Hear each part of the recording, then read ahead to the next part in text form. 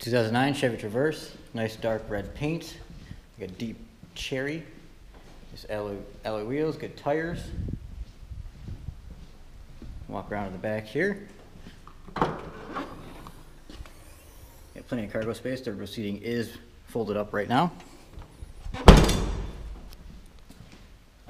Alloy wheels. Dual bucket seats in the back. Your third row seating. There's climate controls for the back.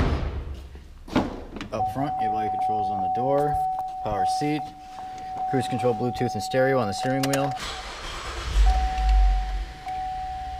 Stereo controls, climate controls. Is OnStar capable?